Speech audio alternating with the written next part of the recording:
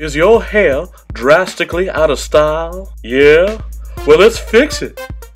Here's what you need a comb, some high quality pomade, a towel, your mitt, a shower, preferably solo, with running water, preferably hot.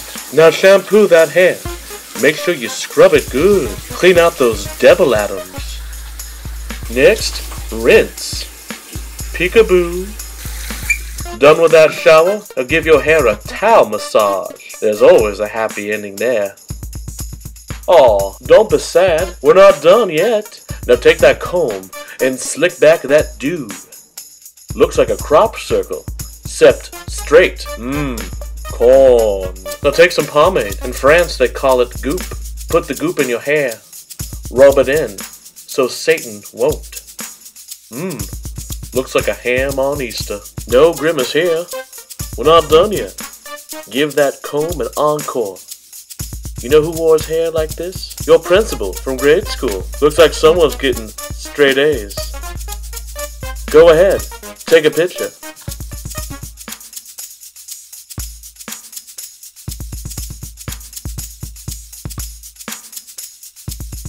Now that's a nice looking do free of Satan.